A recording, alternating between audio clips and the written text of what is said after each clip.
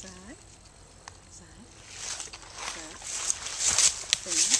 Good. No, no.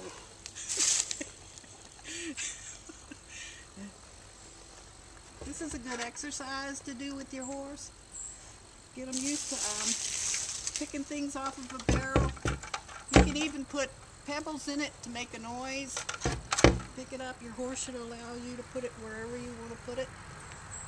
But you don't want the horse to put the nose on the bucket and move it himself. Like that. Stand. Girl.